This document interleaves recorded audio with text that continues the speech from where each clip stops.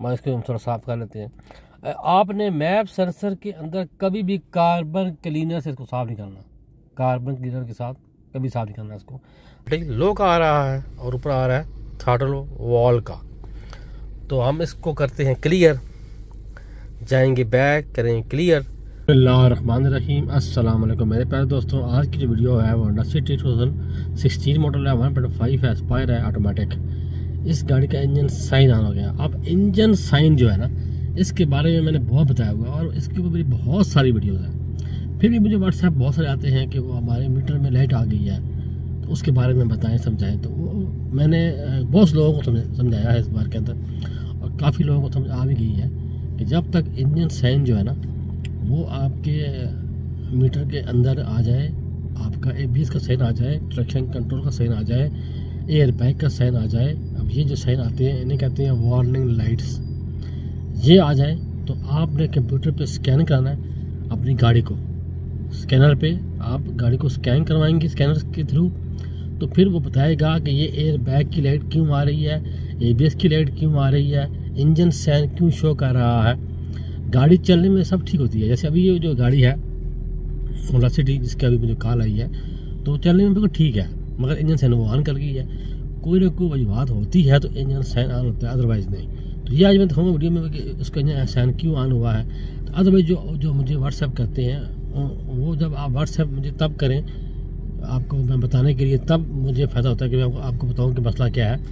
जब मुझे आप कंप्यूटर स्कैन हुआ हुआ कोड मुझे बताएँगे। जिस जैसे कि अभी इस गाड़ी को मैं स्कैन करूँगा तो वो कोड देगी।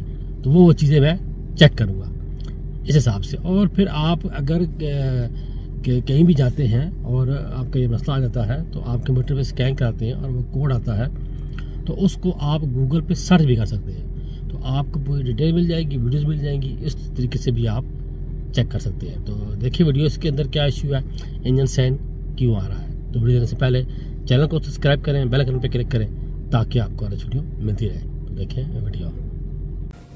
बिस्मिल्लाह देखते हैं जी, गाड़ी चेक करते हैं। ऑटोमेटिक है। होंडा सिटी करते हैं स्टार्ट गाड़ी स्टार्ट की है ब्लिंक करके ऑन हो गया है. इसका इंजन साइन ऑन है. देखते हैं ये क्यों ऑन है. आज भी मुझे भाई ने एक कागज़ के व्हाट्सएप किया, मुझे कि मंसूर भाई, हम, गाड़ी के मीटर में लाइट्स ऑन हो गई है.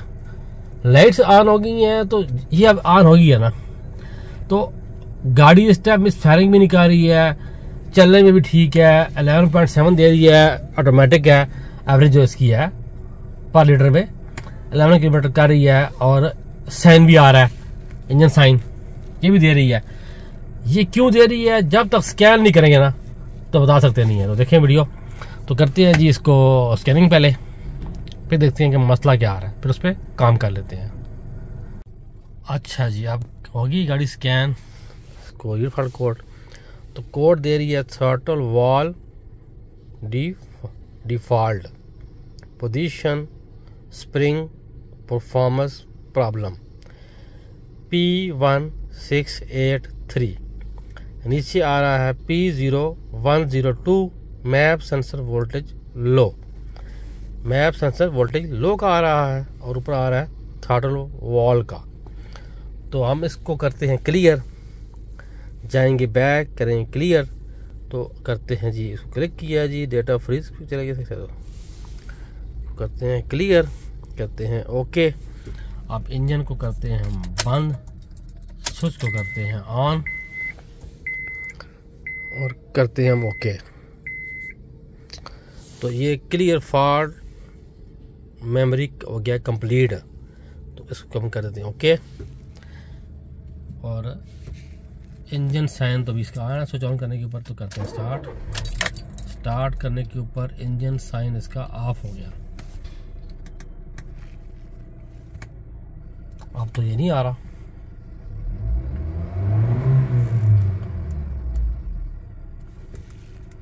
तो करते हैं गाड़ी बंद, फिर स्विच ऑन करते हैं।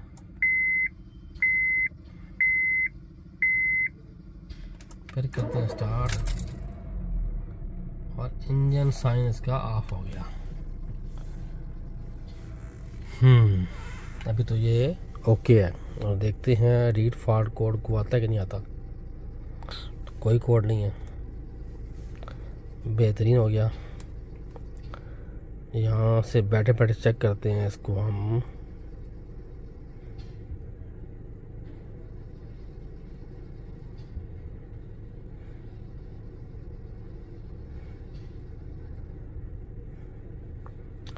मैप सेंसर बेहतरीन काम कर रहा है। देख लें आप। लाइट ऑफ़ होगी। अब जाकर चेक कर लेते हैं कि मैप सेंसर का ग्रिप लूज तो नहीं है सारा बॉडी का? ग्रिप लूज तो नहीं है या चेक कर लेते हैं। दो चीज़ों का ग्रिप चेक कर लेते हैं। ये आपने स्कैन किया और आपने देख लिया कि दो कोड आ रहे थे और क्लियर करने के बाद दोनों चले गए। अब वो दोनों जो हैं जो सेंसर है। एक सेंसर है मैप सेंसर और दूसरा सारा बॉडी है।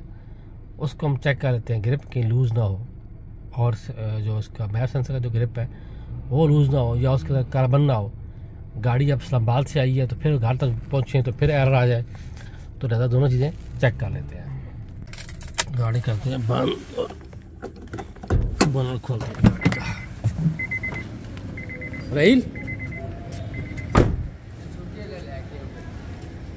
ये बड़ा है।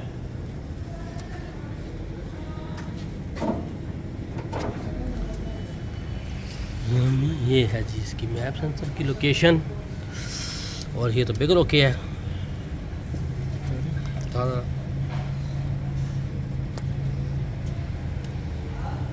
जंग भी नहीं है। लगाओ जी।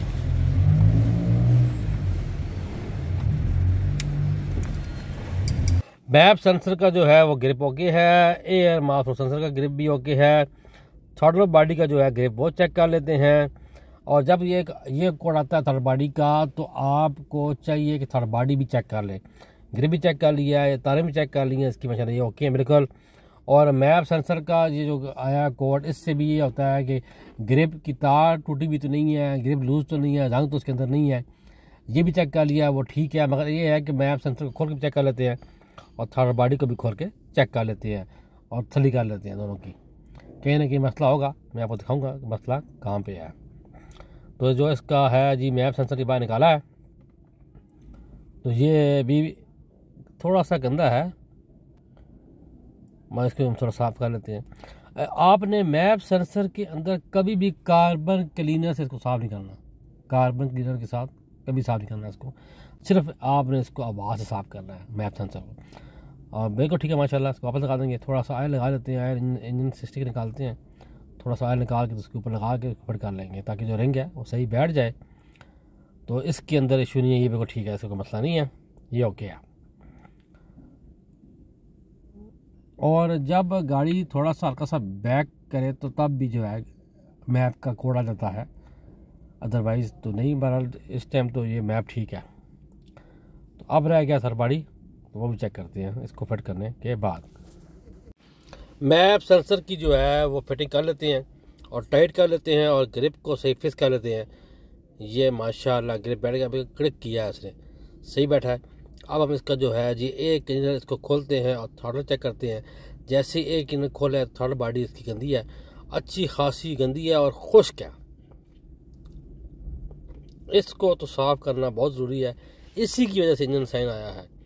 जब ये गंदी होती है और खुश्क होती है तो थोड़ा सा ये हैवी हो जाती है, जिसकी वजह से आप सुबह के टाइम में किसी टाइम भी आप एकदम एक्सीटर दें तो हैवी होने की वजह से ये एरल पकड़ लेती है। और जब आप इसको गूगल पर सर्च करेंगे तो वहाँ भी कहेंगे कि सारा बॉडी पहले गंदी है, वो चेक करें। और इन टेक जो इसका है, वो भी गंदा है, वो सब कर लेंगे। और थर्ड बॉडी को करते हैं हम क्लीन अच्छी तरीके के साथ। कार्बन क्लीनर से करेंगे थर्ड बॉडी को क्लीन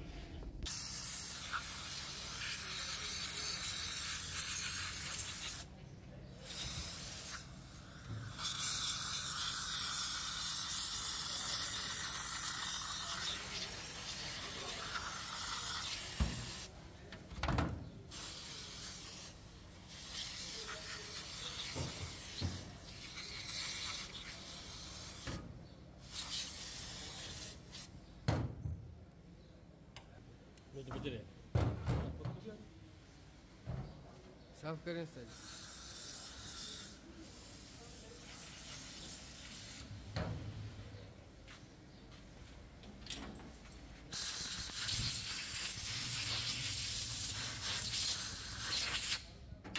ऑयल दे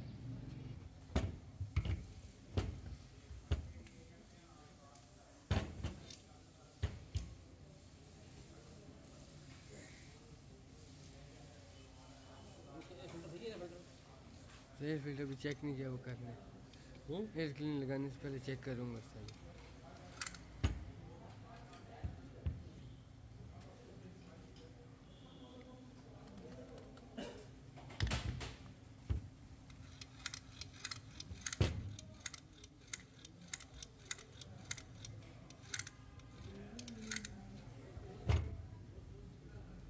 आपने आई लगाने से पहले सही थी या अभी सही हुई है? कब सही थी अभी सही हुई है।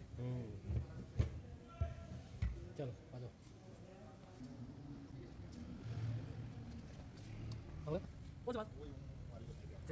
नहीं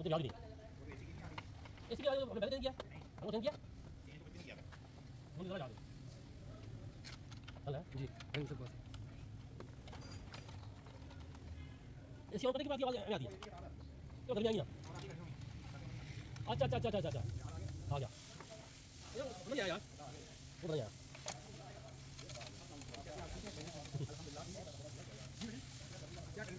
साथ ही ये नया सेंसर ये मिला काफ़ी मैंने पूरी मशीन देखी है ये इसमें नया आया साथ ये वाला ये था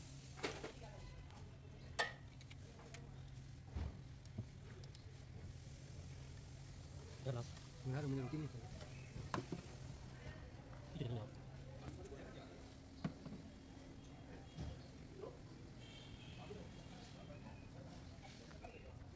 एक क्लिप लगा हम्म? क्लिप लगा ले हम्म? हम्म। थोड़ा बॉडी की फिटिंग हो गई है सारी मुकम्मल और एक इंजन भी लग गया है। आप चेक कर लेते हैं इसका एयर फ़िल्टर एयर फ़िल्टर तो ठीक है, माशाल्लाह ऑली एयर फ़िल्टर है। और बिल्कुल ठीक है, बिल्कुल ठीक है, माशाल्लाह। एयर फ़िल्टर ठीक है इसका। फिटिंग कर लेते हैं फिटिंग करने के बाद गाड़ी करते हैं स्टार्ट और चेक करते हैं गाड़ी की क्या पोजिशन है। असल फॉल था इसका थर्ड बॉडी का। थर्ड बॉडी इसकी बहुत खुशक हुई थी और गंदी थी और बहुत जाम थी। थोड़ा उसको साफ़ किया कार्बन गिनर कार्बेटर गिनर के साथ और थोड़ा उसकी ऑयलिंग की ऑयलिंग करने के बाद हमने इसको फिट किया है। अब हम गाड़ी करेंगे स्टार्ट और चेक करेंगे कि गाड़ी की क्या पोजीशन है। लो जी, गाड़ी करते हैं स्टार्ट गाड़ी स्टार्ट हो गई है। हमें जो फॉल्ट मिला है, वो सिर्फ़ और सिर्फ़ थर्ड बॉडी गंदे होने का मिला है। जो गाड़ी बहुत थर्ड बॉडी जो है वो बहुत खुश्क हुई हुई थी, थोड़ा उसको साफ़ किया, उसको ऑयलिंग की करके लगा दिया, क्योंकि दोनों कोड आ रहे थे, उसके बाद दोबारा आना बंद हो गया है। मगर गाड़ी को चेक करना ज़रूरी है, उसको देखना ज़रूरी है।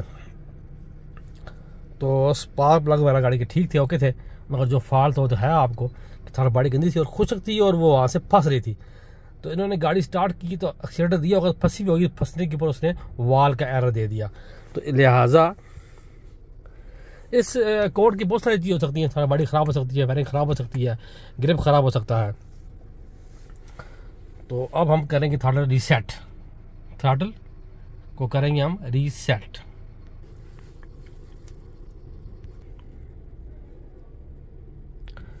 ये आ गया जी intake sensor circuit high voltage जब इसका हम लोग खोलते हैं क्या कहते हैं, एक इंडर तो अक्सर ये कोड ये ले लेता है। एयर एयर इनटेक का जो लगा होता है एयर मास फ्लो सेंसर ये उसका कोड होता है ये। जब एक इंडर खोला जाए तो ये कोड आ जाता है। तो कर लेते क्लियर तो क्लियर हो गया माशाल्लाह। तो गाड़ी करते हैं स्टार्ट क्योंकि आपने थॉटल रनिंग करनी है तो कोई कोड नहीं होना चाहिए। अभी, आज ये माशाल्लाह कोई कोड नहीं है। अब हम जाते हैं जी स्पेशल फ़ंक्शन में और लर्निंग थॉटल लर्निंग में जाएँगे। करेंगे। ओके फिर ओके फिर गाड़ी को हम बंद करेंगे और स्विच को ऑन करेंगे। तो करेंगे हम ओके फिर ओके फिर सब चीज़ें ऑफ़ हैं, गाड़ी पी के ऊपर है। फिर करेंगे ओके और स्विच ऑफ़ करेंगे और स्विच ऑन करेंगे। फिर करेंगे ओके फिर करेंगे ओके फिर ओके ये अब माशाल्लाह काम मुकम्मल हो गया। अगर गाड़ी वालों ने हमें कहा कि इसका मसला हल हो गया है तो फिर हम वीडियो शेयर कर देंगे। आपके साथ ये फॉल्ट शेयर कर देंगे। क्योंकि ये गाड़ी ड्राइव करेंगे, चलाएँगे, चेक करेंगे। अगर दोबारा इन दोनों में से एरर ना आया, यही फॉल्ट हुआ उसका गंदा होने का तो आपके साथ लाजमी शेयर करेंगे। इस वीडियो को वीडियो देने से वीडियो आपने देखी, अच्छी लगी है। चैनल को सब्सक्राइब करें, बेल आइकन पर क्लिक करें, नमाज़ टाइम कैम करें दूसरी पढ़ें दो में याद रखें। अल्लाह हाफिज़।